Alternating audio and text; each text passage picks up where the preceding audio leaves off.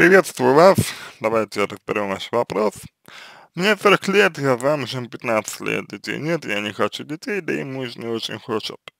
Два месяца назад за мной стал ухаживать коллега, мужа я никогда не изменяла, но сейчас чувствую сильную влюбленность и не знаю, что делать. Ну, что делать, чтобы что, чтобы что. Я точно не хочу отношений ради секса. Понимаю, что в муже не вижу героя, сильную спину, зарабатываю больше него. И вообще, чувства давно угасли, мы как брат и сестра друг для друга. Вопрос в том, позволять ли себе чувства и отношения с другим человеком, или лучше все прекратить на начальном этапе и дальше жить с мужем. А начать здесь стоит с того, что если у вас появилась влюбленность в другому мужчине, это означает наличие определенного кризиса в отношениях между вами и вашим мужем. И этот кризис, он, в принципе, наверное, будет нарастать. Вот. Он будет нарастать, этот кризис, и, в общем-то, как бы вам будет, ну, скорее всего, все более и более некомфортно в своем, а, ну, в своем состоянии, в своем положении, если хотите.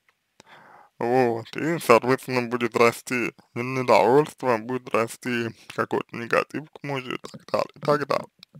Это первое. Второй момент. А вы говорите о том, что не видите в муже героя и не чувствуете в нем сильную спину. Интересно. Почему мужчина должен быть героем, почему мужчина должен э, давать вам чувствовать свою сильную спину? Это про что? Ну так про какой-то ваш внутренний конфликт, про какие-то ваши страхи, про какие-то ваши тру трудности, ответственность за которые вы прикладываете на мужчину, но никак, никак не на себя. Вы можете, э, вы можете сказать, Андрей, а, ну, хорошо, а что если я просто считаю, что мужчина должен быть сильным и больше, и больше зарабатывать, чем я? И в таком случае я скажу, конечно, вы имеете полное право так считать. Но в таком случае, в таком случае, если вы, что называется, и правда так, так считаете, если вы правда считаете, что вот мужчина должен а, быть сильнее вас и зарабатывать там, ну, грубо говоря, больше вас, вот, если вы правда так, э, так считаете, а, повторюсь, вы имеете право так считать, но если вы так считаете, то ваш муж совершенно точно не является тем, а, кто вам нужен. Вот.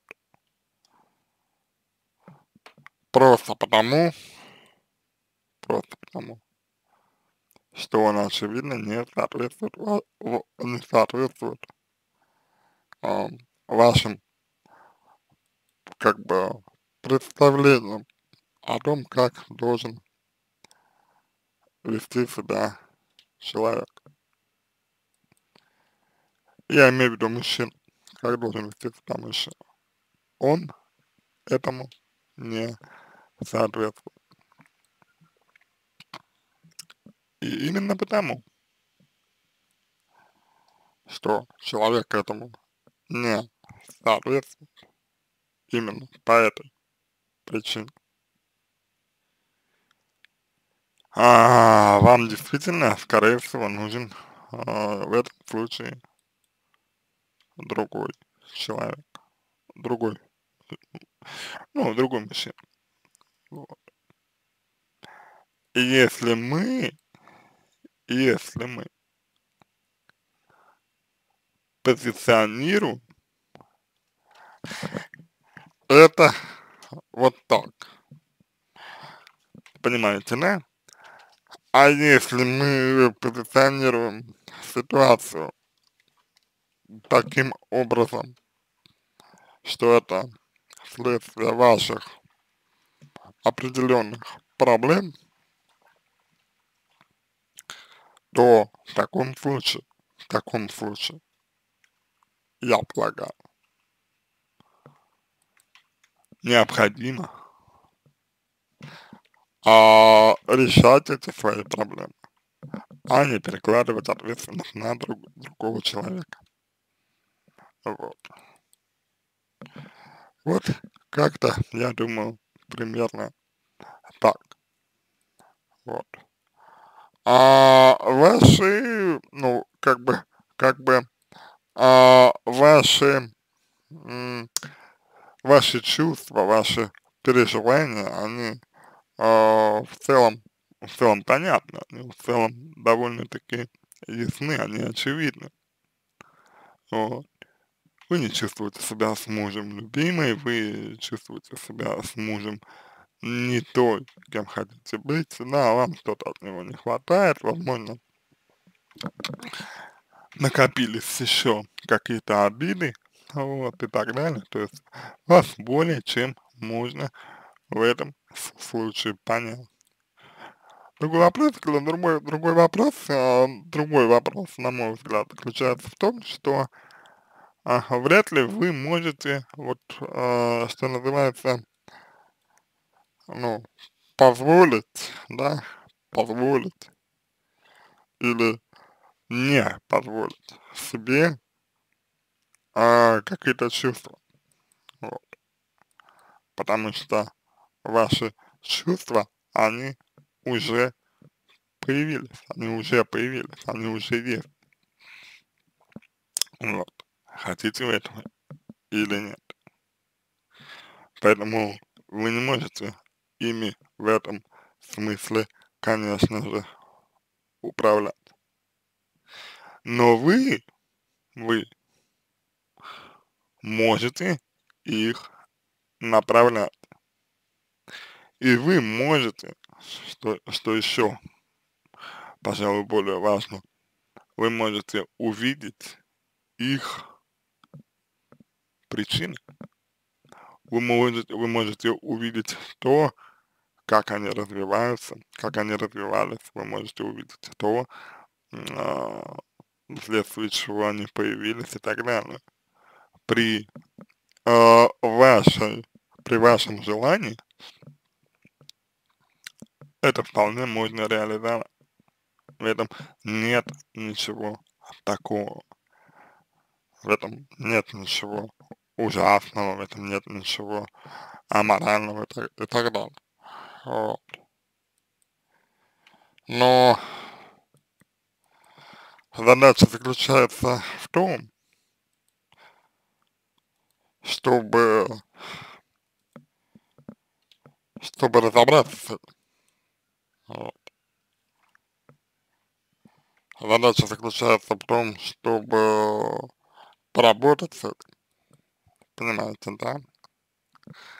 Какая штука. И понять, э, понять по итогу, чего же вы хотите. Вот. И, и дальше уже э, смотреть, вот. Дальше уже смотреть на то, как вы будете выстраивать свою модель поведения. Вот. И тогда.